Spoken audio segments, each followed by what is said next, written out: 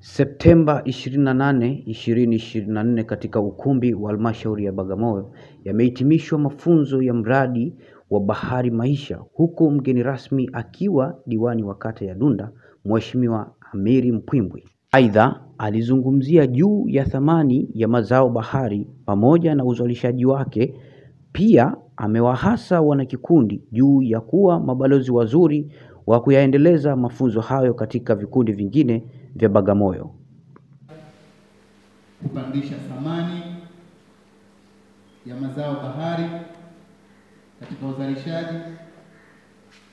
Hivyo kwetu sisi watu wa Bagamoyo tunasema hii ni neema na tuna sababu ya kumshukuru Mwenyezi Mungu. Lakini baada ya kumshukuru Mwenyezi Mungu, binafsi ni kushukuru Meja Madogo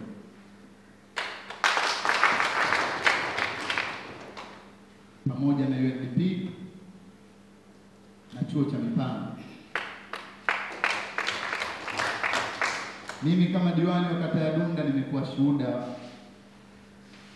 wa mipango mizuri na kazi nzuri mnazozifanya juu ya kuiunga mkono serikali yetu ya Jamhuri ya Muungano wa Tanzania inayoongozwa na mama yetu Daktari Samia Suluhu Hassan. Samia oye! Daktari Samia Suluhu Hassan oye!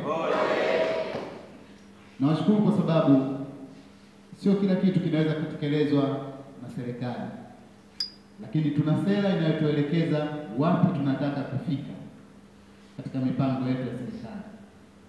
Nanyi wenzetu, sekta binafsi, mashirika mbalimbali, inapotokea fursa ya kutuunga mkono, basi sisi kama wasaidizi katika utekelezaji wa ilani ya Chama cha Mapinduzi inayoongozwa na Daktari Samia Suluhu Hassan tuna kila sababu ya kushukuru, kwa maana mnachokifanya ni utekelezaji wa ilani na ni kumpunguzia Mheshimiwa Rais na serikali yake mzigo kwenye yale ambayo nyinyi mnayafanya. Hongereni sana.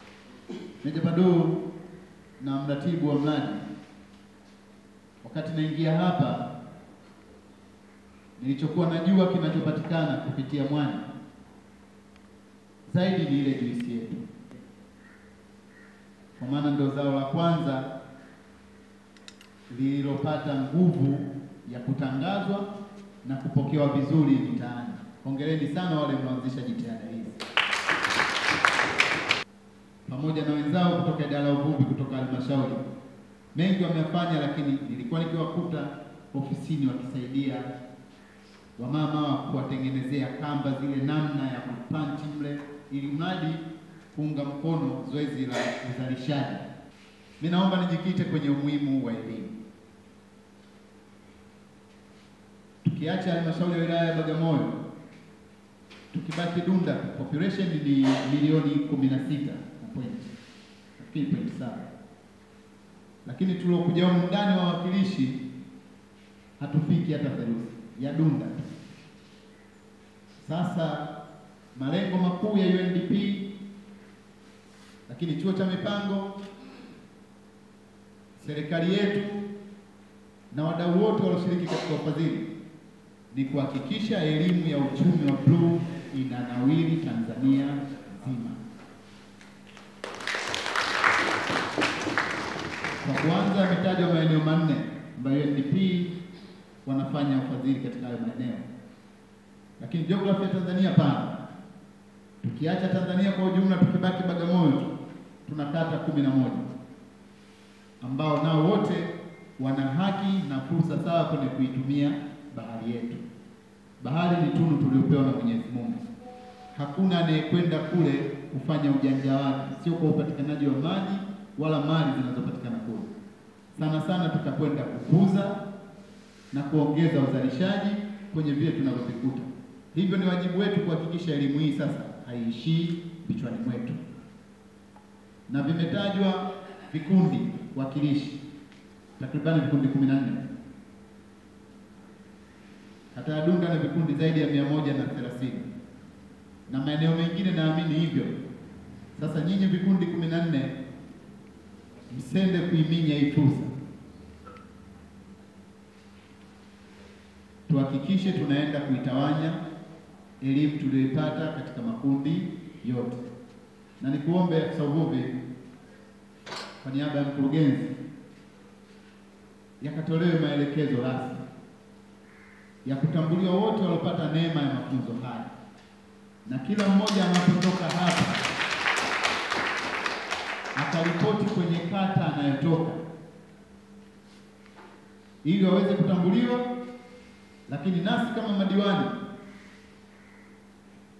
tuweze kuwapa ushirikiano katika vikao vyetu tunavyovifanya juu ya kuwapa nafasi ya uelimishaji kwenye jamii dhidi ya hiki ambacho wamefundishwa. Mwisho ni mshukuru sana Mheshimiwa Rais. Katika awamu hii ya sita, serikali imeongeza nguvu sana katika uchumi wa bluu, na ukizungumzia uchumi wa bluu, sisi watu wa ukanda wa pwani ndio wanufaika wakubwa. Kwa hiyo sisi kama watu wote wa ukanda wa pwani tuna kila sababu ya kumshukuru Mheshimiwa Rais. Bariki sisi tulioshiriki mafunzo haya, alibariki taifa letu, lakini pia ubariki uchaguzi wa 2024 wa serikali za mitaa na uchaguzi wa 2025 taifa letu livuke salama salimini kama ilivyokuwa tunu ya taifa letu. Samia oye! Bagamoyo oye! Mafunzo oye! Asanteni kwa. Pia wanakikundi hao walipata nafasi ya kuzungumzia manufaa ya utunzaji mazingira katika mradi huo. Kwa majina anaitwa John Daniel Asei, ni mwanafunzi ambaye nimeweza kupata fursa ya kuhudhuria semina hii kwa siku saba. Semina hii imetupitisha katika vitengo vitatu: kitengo cha mwani, ufugaji wa jongo bahari na ufugaji wa kaa. Kwa mimi binafsi nimejifunza mambo mengi zaidi, ambapo tumejifunza kwamba ufugaji wa hawa awali tofauti na sasa hivi, kwamba inabidi tufanye vitu kisasa, pia tufanye vitu kwa kuhifadhi mazingira ya bahari, kwamba tusikate mikoko na tusiharibu rasilimali za bahari.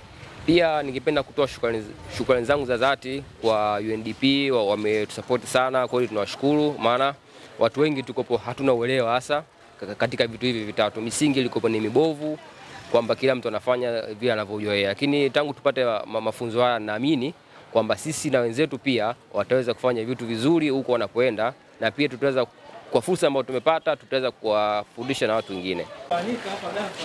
Mimi kwa jina naitwa Joyce Athmani Shishira. E, natokea kikundi cha kazi ni kazi. Kulingana na mafunzo haya tulianza tarehe ishirini na tatu mwezi huu wa Septemba. Kwa kweli mafunzo yalikuwa ni mazuri sana. Wamekuja kutufundisha maswala ya kaa, maswala ya jongo ambao wanasema e, tango bahari, pia tumefundishwa mwani. E, kwa kweli kwa Bagamoyo kama ikitokea tukafuata yale mafunzo tuliyoyapata tukatoka tukaenda kuyapandikiza baharini ile elimu, kwa kweli tutakuwa vizuri. UNDP tuendelee nao, na nasema kwa kweli sisi hao watu vikundi kumi na nne tuliopata ya mafunzo, na imani tutafanya vizuri. Wakati mwingine tutaendelea na kuwafundisha wenzetu wale ambao kubahatika kupata hii elimu, na imani tutawafundisha, kwa sababu hata hawa waliokuwepo hapa bado tulipata elimu, tulifundishwa na kikundi ambacho wengine walikuwa hauna ujuzi na ujuzi umepatikana. Kwa hiyo sisi tunaendelea kutoa elimu kwenye vile kwenye vile vikundi vyetu na wale ambao hapo, na pia tutahakikisha kata ya Dunda tunahamasisha vikundi vingine vijiunge, tuende kufanya haya mapambano ya blue economy.